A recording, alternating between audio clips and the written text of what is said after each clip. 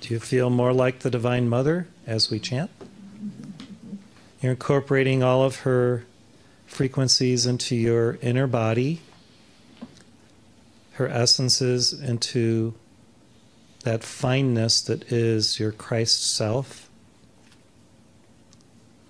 her mystical qualities that can be etched within every cell of your being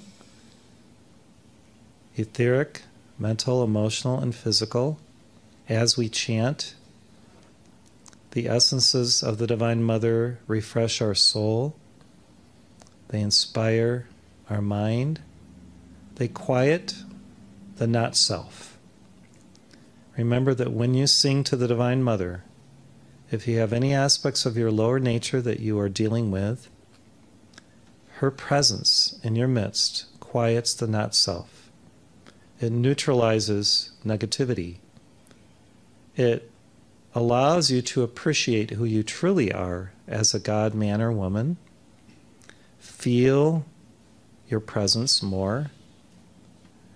Intuit with greater alacrity what is necessary for you to engage in on your spiritual journey toward oneness with your presence, with the all pervading Buddha. The Divine Mother is the greatest teacher that we will know in the world of form because she is the master of form, even as the Father is the master of spirit. And because the Divine Mother, in a sense, created all that is in the matter planes,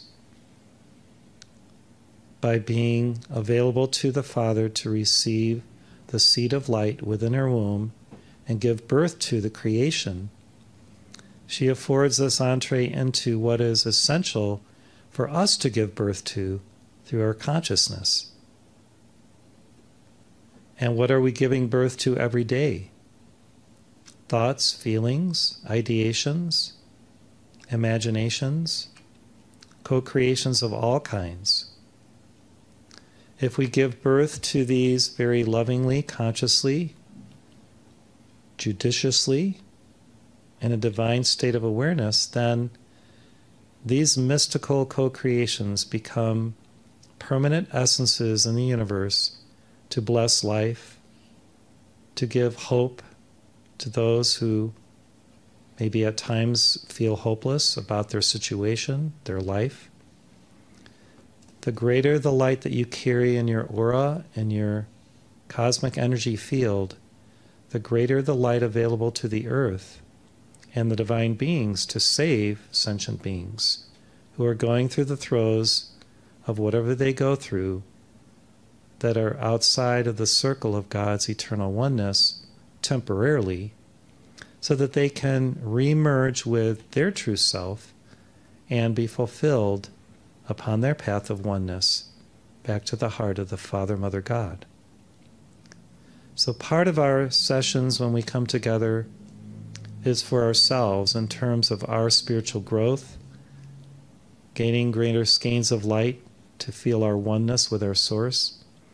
Yet, another part of this dynamic is to serve and bless sentient beings everywhere, because as we receive more light, more God consciousness, and solar awareness, then we are available to the divine world to radiate that light and to grace others with that joy, that very special essence that is our nature, our particular individuated Buddha nature.